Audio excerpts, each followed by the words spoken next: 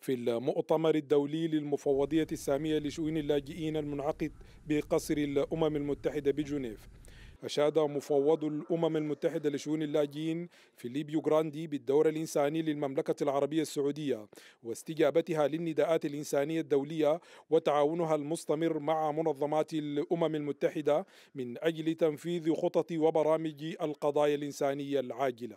To thank uh, the kingdom for its support, especially in responding to some situation in, in some areas like Yemen, of course, uh, Saudi uh, funding and Saudi support has been uh, very important, and we would certainly like to encourage Saudi Arabia to uh, do even more in this respect. تشارك المملكة في المؤتمر الدولي للاجئين كشريك استراتيجي حيث تعتبر المملكة من أكبر الدول المانحة لبرامج المفوضية السامية لشؤون اللاجئين ويقدر دعم المملكة لبرامج مفوضية شؤون اللاجئين هذا العام بحوالي 31 مليون دولار أو ما يزيد دعما لبرامج العودة الطوعية للاجئين والنازحين في كل من اليمن وسوريا وأفغانستان ولاجئي الروهينجا. إن بلاد المملكة العربية السعودية مستمرة في دعم القضايا الإنسانية حول العالم لا سيما اللاجئين والنازحين قسرا.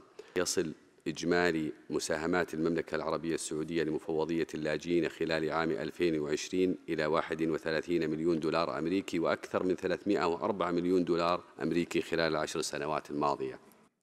تقود المملكة تحالفا دوليا من خلال رئاستها لمجموعة العشرين بالتعاون مع منظمات الأمم المتحدة منها منظمة الصحة العالمية لمواجهة جائحة كورونا مما جعل كثير من المراقبين يصفون المملكة بالمنصة الدولية للعمل الإنساني ممثلة في مركز الملك سلمان للأعمال الخيرية الذي يعتبر نافذة المملكة الإنسانية للعالم. إشادة المفوض السامي لشؤون اللاجئين بدور المملكة العربية السعودية في العمل الإنساني يؤكد حضور مملكة الإنسانية في الساحة الدولية.